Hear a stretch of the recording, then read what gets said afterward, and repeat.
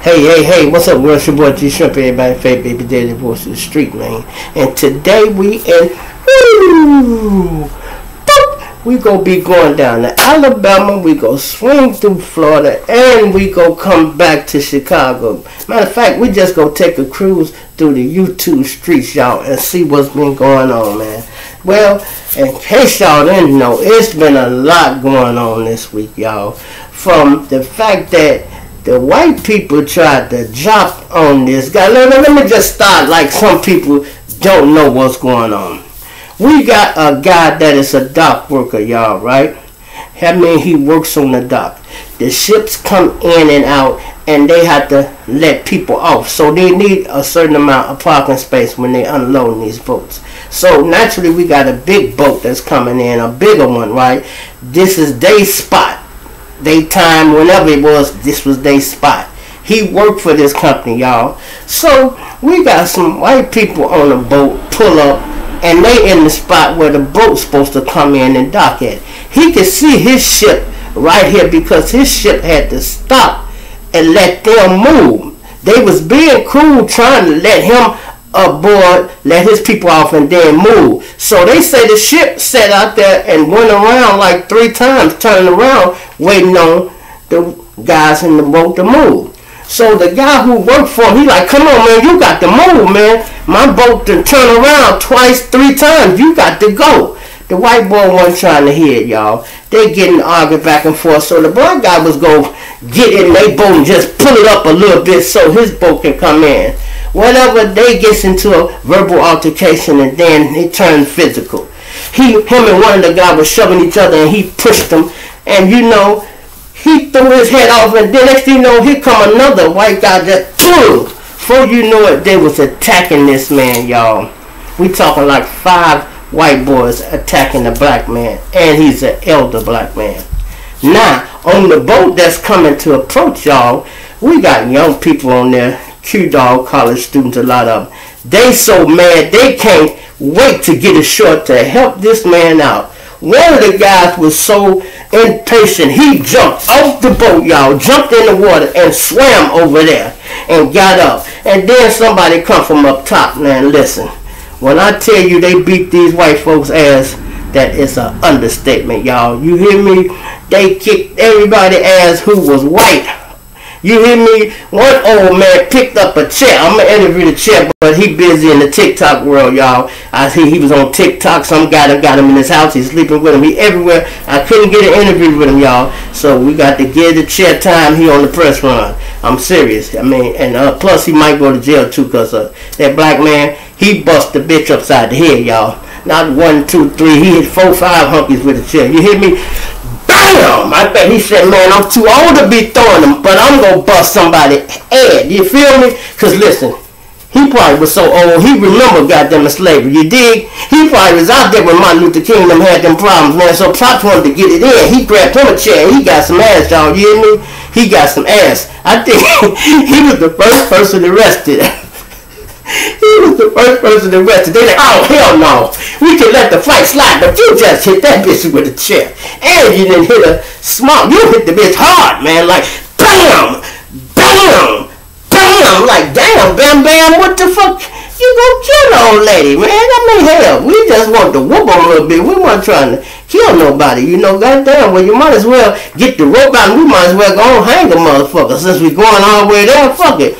Grab your white boy, put the rope around him, and since that's what y'all was doing, but you know that's a joke, y'all. Don't don't, don't have nobody uh calling me talking about I'm want people to get hanged. That that is a joke, okay? Cut it out. You know some of you people be so sensitive, and then with this subject here, y'all, TikTok, TikTok is going through a thing. Fast as they put a video up, they take it down. TikTok been working overtime trying to catch these videos, y'all. They can't get them all because they can't watch them all. So they start with the typing of it. If you got some description in there, bam, they can flag it real quick. But if not, they got to wait till somebody watch it and who is disgusted and who is a Caucasian and say, he gonna want to take this one down, he gonna another one take that one down. So that's how they doing, you know. But they snatch them down. And uh, you can probably see the whole thing on World Star. And Instagram don't really trip on that too much either, so you can probably find it on there. But uh, you know, with the whole thing, if you got a page, a YouTube page, and you actually run it, don't run that whole video. Trust me. Plus, don't run the violent part. You know, don't get yourself in trouble trying to show people something that they go see anyway. You go mess your own self up financially. You feel me? Now, draw this right. Three white guys they had to get arrested. They just turned themselves in the other night. Went in there. They ain't got nothing but misdemeanors or some petty shit. Welcome all y'all that's tuned in from uh, Spotify and uh, the podcast all over. Hit that like button. Hit that subscribe button, man. I appreciate y'all for joining, you know. Yeah, so these guys, they had to turn themselves in and uh, they're incarcerated. I haven't heard anything about the white people yet. If uh, not the white people, any black people, if any of them had to turn themselves in. So I'm not sure about them yet, y'all. So I will let y'all know if any of them went to jail. So far, they just got the little Caucasian. And plus, they know they started it, y'all. So I think they charging with them and charging them with sparking the waist ride like they did the little YouTuber. You know, so they charging them with that, y'all. And you know, that just was a wild day. And everybody say they is proud of these people. Yeah, they're proud of them. Hmm, I guess you can say that. Now let's go here, y'all. It's this couple, y'all. His wife is pregnant. They goes to a hospital to have the baby, right? He's having the baby. The baby is getting delivered, right? The doctor's trying to get the baby out, but he can't get the baby out. Sometimes these babies get sideways, and sometimes the doc had to be skilled enough to go in there, turn the baby around and move it. I done went through there. I seen it. You know, trust me, it gets real complicated sometimes if that baby ain't positioned correct.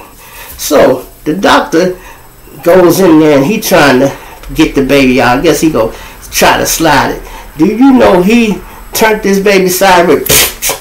And broke the baby daggone neck. yes, broke the baby neck. Then he, okay, damn. We gonna have to do emergency C-section. I can't get it out this way. Hell, goddamn it. Goes in there. They do a C-section. Cut open. Get oh shit. Goddamn it. Oh Lord, have mercy. They deliver the baby. Y'all guess what? The baby is missing a head. Woo. Yeah, you heard me right. The baby is missing a fucking head. Guess where the head at? Fumble around in there. Oh, goddamn it, he go the head. Oh, shit. What you do, Doc? Doctor tried to turn it around and broke the baby neck. Just think of when babies are newborn, how they be. They can't hold their head and their neck. So imagine, the neck is real, you know, unstable at this time. He broke the child neck and it came loose. Oh! Damn, how much force did this man put on the child? He was really trying to turn that damn baby sideways in between that pussy and the leg. Oh, man, you got a pelvis bones there. You can't do that. But he did it anyway, y'all. And then had the nerve when they had the C-section to play dumb. Well, the baby's stillborn, but uh, shucks. You don't want to see. They like, well, let us see our baby. They want to hold it. Then they were buried now. And they like, no, you don't think it's a good idea for you. I want to see my baby. I want to see my baby. Okay, well, shit. They trying to hide it, y'all. You know what these dirty bastards did? they got the dead baby, put it in the blanket, put the head on, and wrap the baby up real tight, and hand it to her. So now you know the baby is deceased, but they got him wrapped so tight where you know the family think they can hold it and say something, but you know, I guess they looking, what the hell is that? You know, this hell. But they didn't catch it, y'all. Check this out. They didn't catch it. It worked it. They had the baby wrapped up so good, it worked it, y'all. So they go bury the baby, naturally the corner, and the uh, funeral home had to pick the baby up, right? Goes to the baby, they finna have a funeral, and then the people at the funeral home say, hey, yeah, um, how did the baby head get, you know, uh, decapitated? How did the baby get decapitated? And they're like, what? What are you talking about decapitated? The baby was a stillborn. And he like, this baby is not connected to the body. They like, it's not connected to the body. What the hell are you talking? me? Like, what? How you think your baby died? You feel me? And they like, shit, he was born alive. They like, shit, it looked like somebody broke his neck and took it off. That's how they found out, y'all. They is suing the shit out the hospital. They is suing them. And huh, you think? Yeah, they suing them, y'all. They supposed to be suing them. That's crazy, man. I'm talking about we living in the last days for real. It is a lot going on, y'all. Now moving on, let's go down here to the next story. This is crazy, y'all. Some of you men ain't shit. Some of you women ain't shit either, but some of you men, y'all just do the most and the dumbest shit. Now let's say it's this married man. He's married. He got a wife and whatever going on. You know, sometimes you in the marriage, sex drive go down, not from the man or whatever. He don't be wanting. She don't be wanting to give it to him. However it go, it must be at that point. The man then went to a damn nightclub, y'all. Went to a nightclub. Now they try to say this woman was his mistress or whatever. Then some people said this was the first night they met. However it was, if it's the first night, she met him at the club on a Monday night, took him home Monday night and fucked him and got killed. Now I know what you're saying. That's what a lot of people go out for to have one night stands. I understand, true enough. Okay, but this man had the nerve to take the woman to his house. His house, y'all. The one that he shared with his fucking wife. You heard me? The one he shared with his wife, y'all.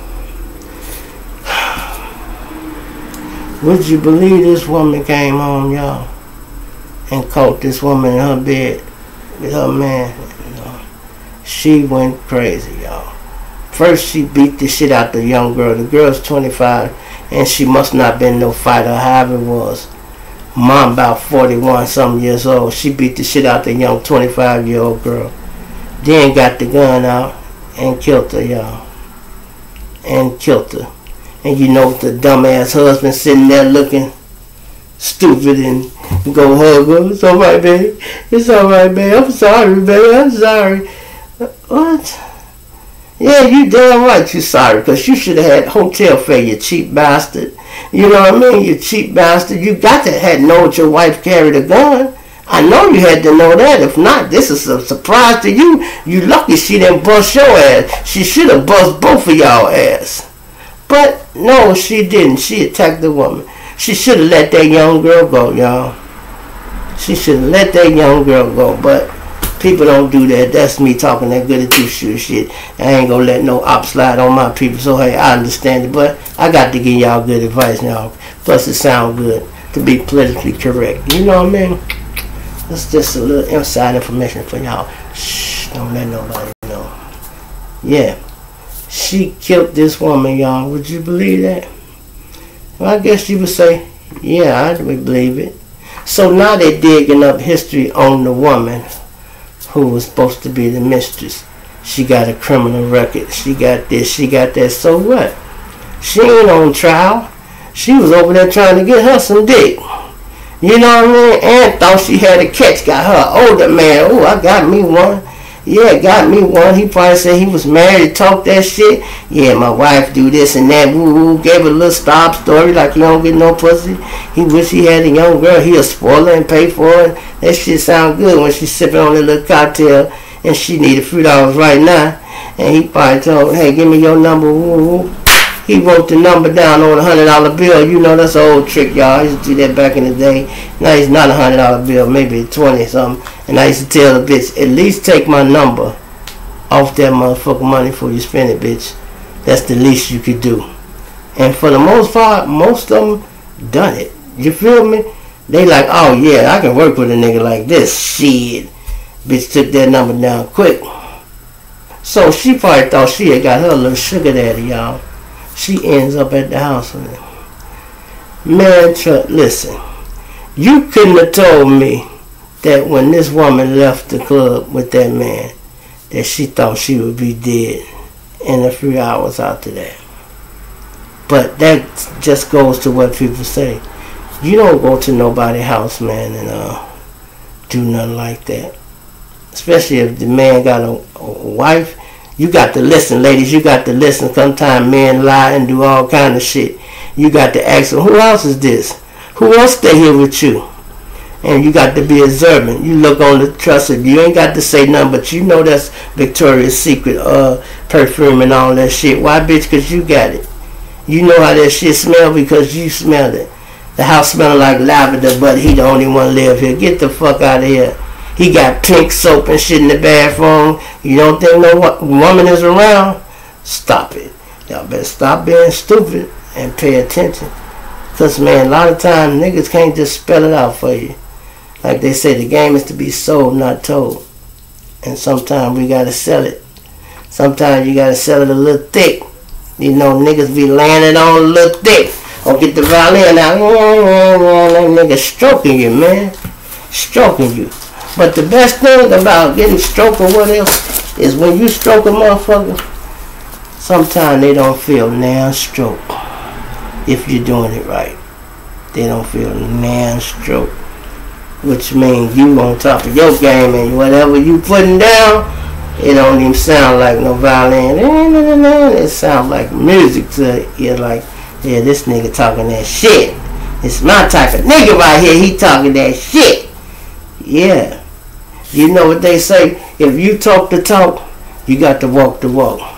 But most of the time, if you talk the talk and you already walking the walk, you don't have to do no talking at all, bruh. You draw. I'm going to say that again. Sometimes you got to talk the talk and you got to walk the walk. But if you walking the walk, you ain't got to do no talking at all, bruh. That means how you living go speak for itself like these guys be going out their way to incriminate themselves trying to get attention to the world. Mm-mm, there's better ways to do that. Most street niggas don't have to brag on themselves because there's going to always be somebody else to do it. Every incident you have, somebody else go speak on it. Somebody else go speak on it. Sometimes you don't have to say nothing. Just lay back and keep being the message you bring and keep doing what you do. You know, Keep doing what you do. You know my grandson asked me when I started this? He said, Granddaddy, do you know G Herbo? I said, no, I don't know him yet, but I'm going to know him in a year. I said, I'm going to introduce you to him. Mm-hmm. And guess what? I am. When I see G Herbo and demonstrate with him, I'm going to let him know. And guess what? I'm going to be like, hey, little grandson, that's him right there. You like, damn, granddaddy, know him for real. Yeah, the G getting real popular, y'all. We getting on up there, y'all. We getting on up there. I told you guys, I said, man, you want to see a success story? Keep watching the G Shrimp, man. Hit that like button, hit that subscribe button. I said, I'm going to make you proud. Y'all going to be proud to say y'all know me. So all you people that got my phone number, keep it in there. Cause y'all gonna be so proud, be like, man, I know this nigga Joe. Listen, I remember when the nigga was trying to hit 10,000 subscribers. What's up, G? I'm like, what's up? Who is this? You know, I know some of your names by heart. I know who the president is down there in Houston, Texas. Yeah, I got some fans that go way down there, boy. Way down there. Yeah, I got fans everywhere. Bumpton, California. Long Beach, California. Oakland, California. Delaware, Florida, Mississippi, Washington, D.C., ooh, St. Louis, yes, sir. The general getting around, y'all. And you know, it tripped me out. Like I said, dude said he didn't know me, Trench News. He know me now, though. He know me now, and he watched one of my videos already. See, sometimes people watch your shit and won't even tell you they watching. But I, I seen this show. I let them know I'm in the comments. Say, hey, what's up, gang? I said Chicago winning. You know, that's how it is. Cause I want all us to eat, y'all. I want all of us to eat. I got another video I'm gonna show y'all when I just was out. I went and uh, to the little clothing store down there, and I had to go in the curses change, and uh, it is real dangerous over there, y'all. They sit out there and watch the curses change they can watch you go buy some clothes or some food. These people will watch you go do all that and wait till you got your bag with your clothes and your little food and your little pop shit. You finna go chill out. You done ran all your little errands, y'all. You done ran all your little errands. Now, only thing left is to go home, eat and drink this pop, and that's it. You can call it a day.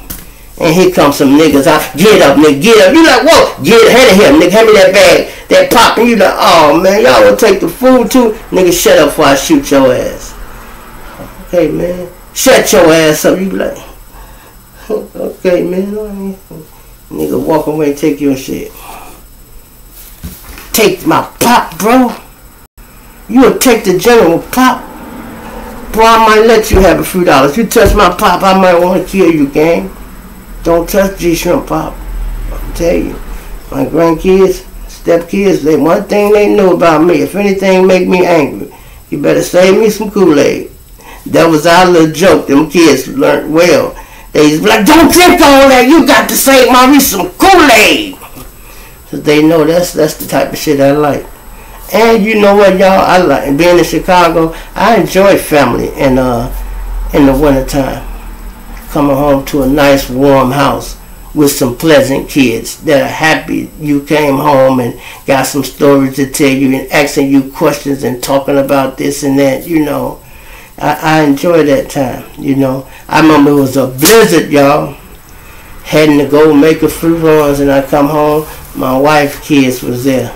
One they was probably young at the time, maybe 14 and uh, 15 or 16. It was a year apart and they had all kind of little stories to tell. They had called that bitch Miss Cleo, y'all. Remember Miss Cleo was out? Hey, I got that something, something. Y'all know they locked that bitch up, right? Come to find out Miss Cleo was a fraud, y'all. Miss Cleo didn't remember shit, nor was she psychic about shit. she is just a paid actor. And she didn't even own the company, y'all. She was a worker. But guess what? When they came to lock her ass up, she was head on the board because you was the face of the company, bitch, and you know they was stealing. However was going, they got on her ass first, y'all, and like a pit bull, shake her ass until they shook out all the other players. Mm-hmm. Lock her up.